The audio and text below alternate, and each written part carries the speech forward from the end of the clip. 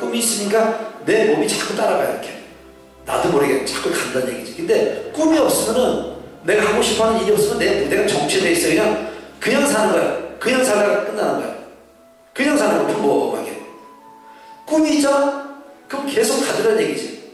나도 모르게 계속 이끌려가요. 저는 지금 여기로 오라고 했는데 3번 버스를 타고 집에 가야 되는데 제 3번 버스가 왜 오지 오지 않나요? 어 기다려 기다려 오지 않네요? 자, 어 3번 버스 드디어 왔습니다. 3번 버스 타는데 어 지금 버스에 자리가 없네요 혼자 계속 중얼중얼중얼 거리는 연습되기 시작해요 중얼중얼중얼 그리고 간판 있으면 만약에 빠, 뭐 로, 깨도 로 발이 나는데 계속 한 자리 또확 봐. 계속 다니면서 안 되는 발음을 계속 연습하기 시작했고 계속 말하는 연습을 하기 시작했고 집에 가가지고 컵 하나 가지고 이 컵을 가지고 20분씩 뭐 10분씩 한 연습을 하기 시작했고 자 이 컵 그래서 사자성어도 넣기도 하고 어? 색감도 넣기도 하고 막 하면서 막 어떤 걸 가지고 자꾸 막 혼자 연습하는 연습을 많이 했어요. 그냥 배운 것도 없이 제 스스로.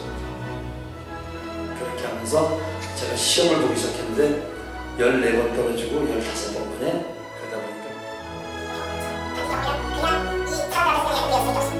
그게 맞아. 그래서 좋아. 이렇게 되면 시험할 때